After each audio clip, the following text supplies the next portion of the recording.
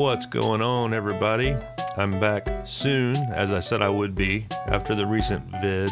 Had to do some Polo G for the first time. I'm pretty sure this is the first one I've done from him. I uh, got a few requests for it. Um, got one from Kimmy, one from TL Revokes, and one from looks like Motion ZZ on YT.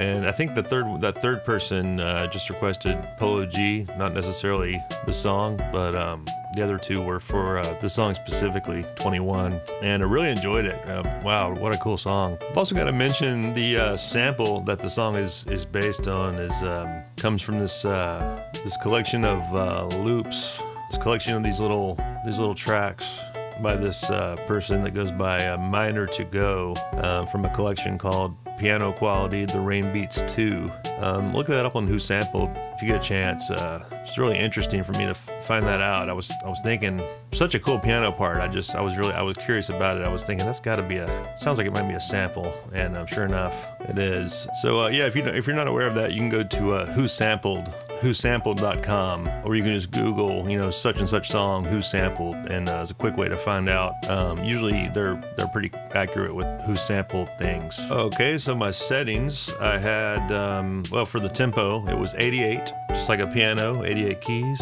And then settings we have 16 bars uh, as usual four beats per bar split beats into four. Chromatic scale made the lowest note B because basically I wanted the lowest note of the bass line to be B.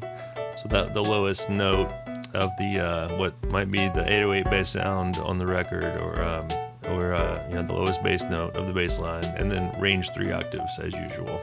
Well, thanks so much, everybody, for checking this one out, and um, I will be back again very soon. There's a chance I might go back to a little Ari for the next one, if you know who I'm talking about. A lot of requests for uh, stuff from her.